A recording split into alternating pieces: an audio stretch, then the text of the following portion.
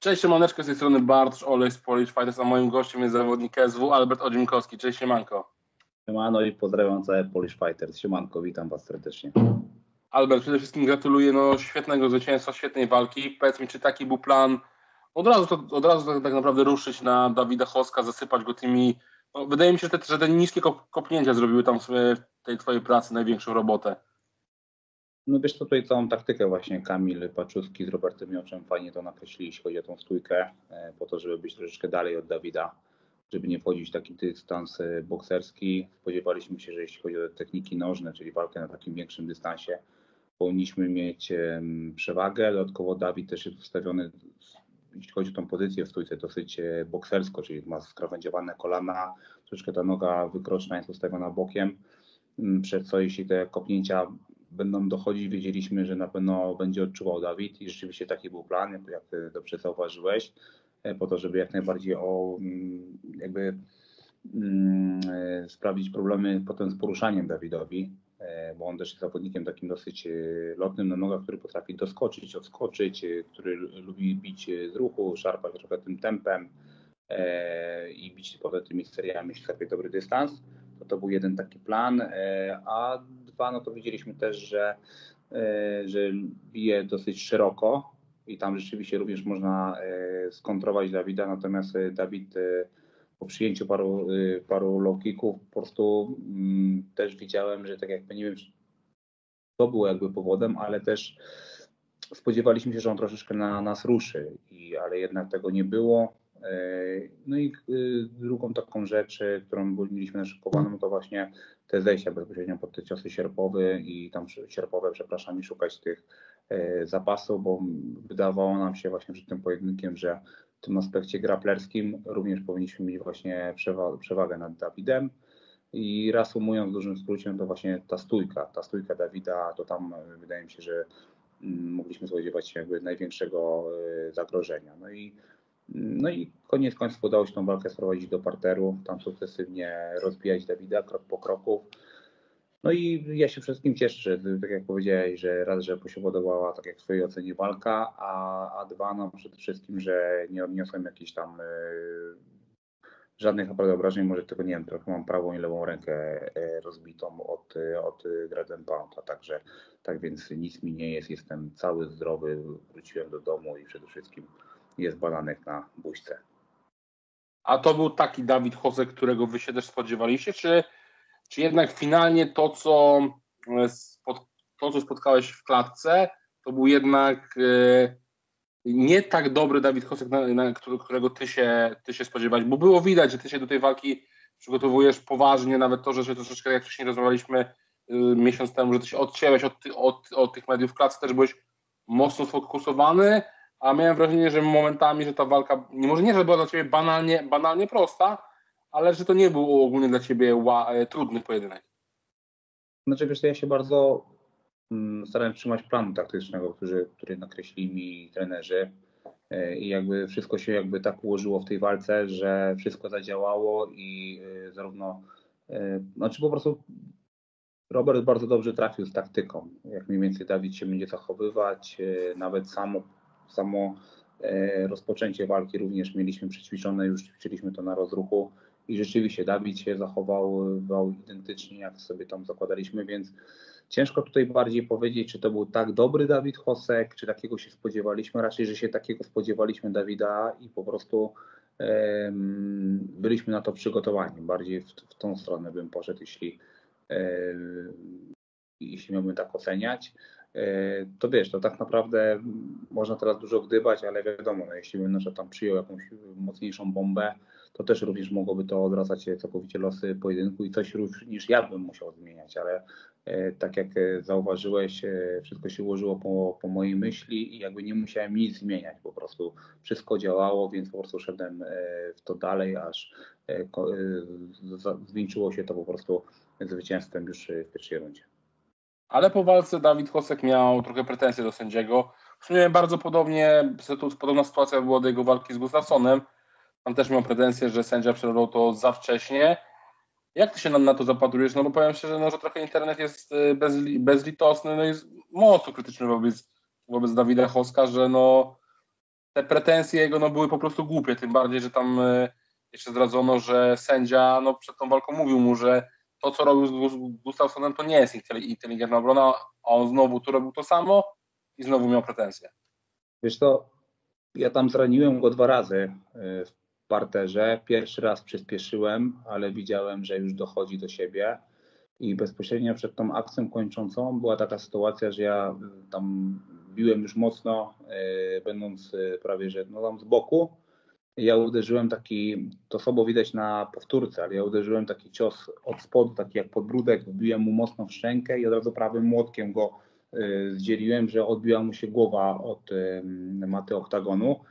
I on ten cios poczuł, zdecydowanie zobaczyłem to, że poczuł, on się schował w takiej pozycji embrionalnej i widziałem, że jest zamroczony i również zauważył to sędzia i sędzia powiedział do niego fight back i po drugiej komendzie jak powiedział fight back, to ja sobie też zacząłem zdawać sprawę, że po prostu jest bardzo blisko przerwania i już nawet już się nie skupiałem na tym, żeby bezpośrednio e, wbijać mu tam jakieś nity między te ręce i, i zwalniać swój atak, tylko po prostu miałem świadomość tego, że jeśli ja za chwilę przyspieszę, a on nic nie zrobi, a, ono jakby nie dochodził jakby do siebie cały czas w, w takiej pozycji embrionalnej, próbował chyba złapać kontakt z, z bazą, e, to wiedziałem, że po prostu to sędzia przerwie i mi się wydaje, że po prostu ja się tutaj zachowałem, no nie lubię siebie chwalić, no, ale zachowałem się po prostu przytomnie i tak dalej. Wiedziałem, że jest dwa razy fight back, e, on nic nie robi, potem jest znowu fight back, on nic nie robi, to wystarczy tak naprawdę przyspieszyć jeszcze bardziej i nie skupiać się już stricte na celowaniu, tylko po prostu pokazać, że on się po prostu nie broni inteligentnie. I rzeczywiście było tam chyba 10 ciosów uderzyłem e, w ręce, e, ale on nic nie robił. Taki sobie dziwny, powinien po prostu pracować, nie bronił się inteligentnie. I tak naprawdę w momencie, kiedy już jakby doszedł do siebie, no to już był chyba to był dziesiąty cios, bo sam sobie to włączyłem tą powtórkę i liczyłem te ciosy no to tak naprawdę to, o co mamy mieć pretensje? Potem sam bezpośrednio po walce z nim rozmawiałem i no on też potem już potem już normalnie mi przyznał rację i tak dalej, że strząsnął ten, nim ten cios i e, po prostu liczył na to, że w ten sposób będzie do, dochodził do siebie, no ale no jednak musisz bronić się inteligentnie, a e, to nie była inteligentna obrona, a ja znowu też widząc po drugiej komendzie ze strony Łukasza Bosackiego fight back, E, wiedziałem, że nie muszę już celować i jakby mu szukać, żeby mu wyłączyć całkowicie prąd i szukać tam, żeby jeszcze jednego gwoździa mocnego e, mu wbić, e, tylko tak naprawdę to oczywiście ja nie kierowałem się żadnym, broń Boże, żadnym humanitaryzmem, ale no miałem świadomość tego, że to jest już na wykończeniu akcja i ten pojedynek może się za chwilę właśnie w ten sposób skończyć. Mhm. Już odchodząc jakby od tematu tej walki, mam do Ciebie Albert takie pytanie. Przez to, że no Ty od dłuższego czasu jesteś komentatorem, jesteś ekspertem w programie Octagon Live u Maćka, Maćka Turskiego, no i te analizy są chwalone też w świecie MMA. Myślisz, że to wszystko się trochę przekłada na taką trochę taką inteligencję klatkową, na takie trochę lepsze spojrzenie, spojrzenie na walkę, czy podczas właśnie przygotowań, gdzieś tam analizowania planu, planu trenerem i finalnie Y, to, co pokazujesz w klatce? Na pewno, na pewno po, po części, wiesz Bartek, bo jednak mi przede wszystkim dużo łatwiej ogląda się swoich rywali. Tutaj jest duża zmiana. Ja też nie lubiłem nigdy oglądać swoich rywali.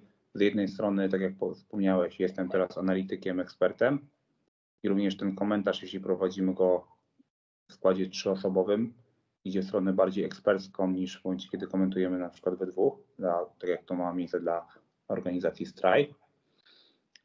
Na pewno, na pewno przede wszystkim to są takie dziś e, twoje, e, przepraszam, swoje przemyślenia. Ja też jakby podchodząc wcześniej do walki mówię, dobra, nie chcę sobie dodatkowo nabijać głowy, co mi powiedzą trenerzy, to ja to wychodzę, robię, jestem wykonawcą i tak dalej, ale tutaj też mam takie jakby już, już miałem swoje przemyślenia przed tą walką, przed poprzednią walką i teraz bezpośrednio, kiedy ustawiamy sobie tą taktykę, polega to bardziej na wymianie jakichś tam doświadczeń, poglądów i planów na walkę. Czyli na pewno to jest pomocne.